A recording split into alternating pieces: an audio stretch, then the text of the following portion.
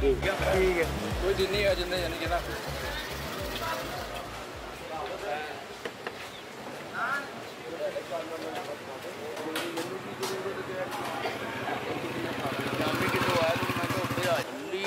ਮੈਨੂੰ ਕੁਝ ਫਿਲਮ ਹੀ ਹੋਰ ਕਿਸੇ ਨੇ। ਦੱਸਿਆ ਅੱਜ